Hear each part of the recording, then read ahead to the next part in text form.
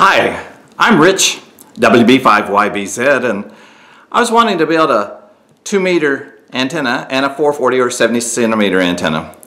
I had to find supplies for a reasonable price. So if you ever noticed some of those 12 foot sections of aluminum tubing cost a lot for shipping and anyway I just didn't really want to order it. I started looking online and I found this rolled up uh, 50 foot quarter inch tubing from supplyhouse.com and 50 foot of 3 8 inch tubing. Uh, the quarter inch tubing for 50 feet was $24 and the 3 8 inch tubing was $35 and both of them plus shipping. Of course aluminum prices are going to change by the time you see this video. It might have gone up in price, might have gone down in price but 50 feet was pretty good for that price. It isn't too hard to bend the tubing straight.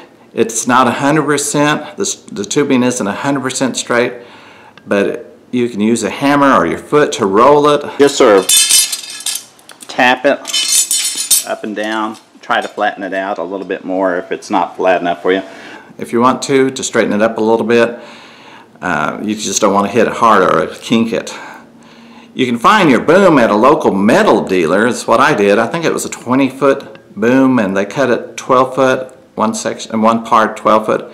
And then they tied a little red flag on it, which helps to, you know, when you put it in the car, it's sort of hanging out. You can get your measurements from any antenna handbook or online. I happen to use K7MEM uh, measurements on the web. You can cut your tubing either by a tubing uh, cutter or hacksaw. Uh, sometimes you might want to take a file and file the corner so it won't have a sharp corner. It's easy uh, to make, they're easy to make. On the 440 I used a little clamps to clamp it down to the boom. Uh, however, I noticed if they loosen up, the elements happen to fall off if, if they're diagonally or, or sideways or vertically I mean and that's not good. I, I did use screws on the 3 8 inch tubing on the 2 meter antenna and that seemed to work pretty good when I attached it to the boom. I use regular electrical box uh, to make my connections on the 440. Balun,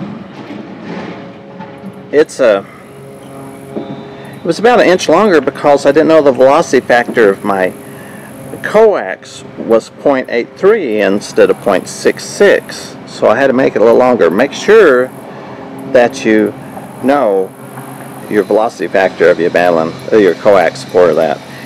And on the two meter, I actually used a uh, some insulation, uh, insulators. I'll show you a picture of that. I guess I should have just used a, maybe a one quarter, uh, maybe a dowel pin or something. So I could screw this in on both sides. And then I have this nylon washer I got at Ace. I, what I did is I threaded this nylon 5 16ths and threaded the inside of this 5 16ths and I screwed it on. But that wouldn't have been necessary. I could just, like say, maybe use a, a quarter inch plastic rod or a wooden dowel pin and just screw it on here and it's not going to go anywhere. Thread it through the uh, boom on that. So that was pretty neat. All the SWRs was pretty good. I would suggest uh, if you're going to have a box to be able to maybe, I made some slits in it where I bolted it down so I could slide the box back and forth. That helps with the SWR a little bit. All the SWRs weren't bad. I made some great contacts using the antennas. It was sort of fun making them for my first antenna project.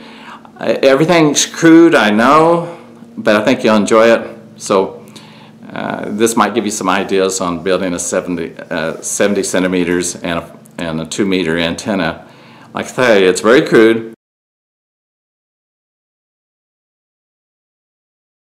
Hi there. Well, here's the finished product. I have listened lights coming over 10 over S9. What I've been doing is cutting a little bit off, maybe a quarter inch with my tube cutters. I think this is about it. I, it's a possibility I need to have a, a mount where I could slide this back and forth. I think that could get the SWR down a little bit more. Maybe have a, a slotted area and that might uh, do better. But all in all, I, I did work with this, what, three feet off the ground beam, uh, about uh, 20, 25 miles. And I was, I was tickled to death about that. They said I was coming in pretty good. And this is a K7MEM design. So anyway, I got two pieces. I got one piece from local. I believe that's one by one.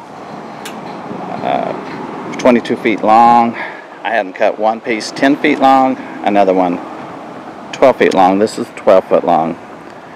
And it was about $32, I believe. And I think I showed y'all the 50 foot of tubing. I still have a lot left over. And look at that. That antenna's bent a little bit. I didn't straighten it up. But it was uh, about $35 from House Supply. And these, these, these bend really easily and straight. You can straighten them up real easy. So K7MEM design and it seems like it's working very, very good. On my two meter antenna, it's strictly more or less just a dipole. It's just a dipole on here. And what I did is I kept on snipping, snipping until I got the right SWR if we go over here to the SWR meter, you can see I'm, I'm about uh, the impedance is about 45 I guess. I can't really see this but uh, if I'm gonna switch it I'm gonna switch it down to 44 you see it's about a 1 a 1.1 46 it's 1.2 SWR and then 147 1.6 and uh, 48's 2 so not too bad for just a homebrew antenna. So that's uh, there's the antenna